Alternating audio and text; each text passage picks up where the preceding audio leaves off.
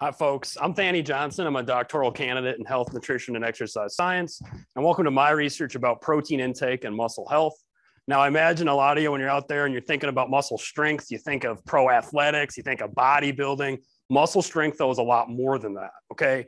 So, muscle strength alone is related to our cognitive status. So, the weaker you are, the more likely you are to have dementia, Alzheimer's disease, or any type of cognitive impairment.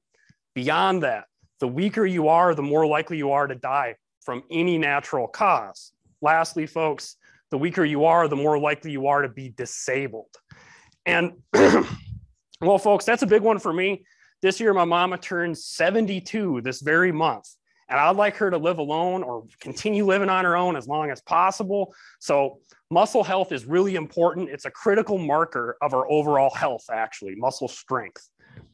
So there's a lot of things we can do to actually improve muscle strength. There's pharmacological options. Uh, anabolic steroids come to mind.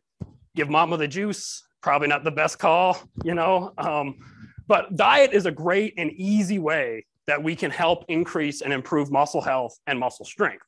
So although there are many nutrients that can affect muscle strength and muscle health, protein is probably the most important because protein itself actually makes up our muscle tissue. It forms our muscle tissue. So it's critically important.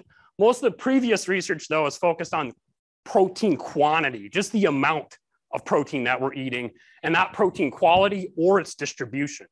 So what we found is that in those eating more high quality proteins, so proteins from milk, eggs, cheese, fish, and meats, that these people were stronger when we controlled for age, sex, uh, physical activity, protein intake itself, and energy intake.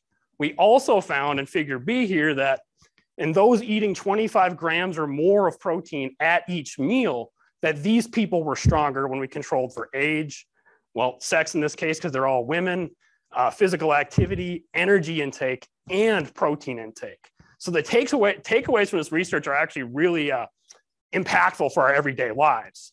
And most importantly, it would be one, choose high quality proteins. And then secondly, spread them out throughout your day. So get them at breakfast, lunch, and dinner. So how much is 25 grams of protein? It's about one of those uh, personal servings of Greek yogurt. Uh, it's about uh, three and a half ounces of lean meat, uh, three cups or three cups of milk, or four eggs. All right, thank you very much, folks. That's all I got. Come on up of you.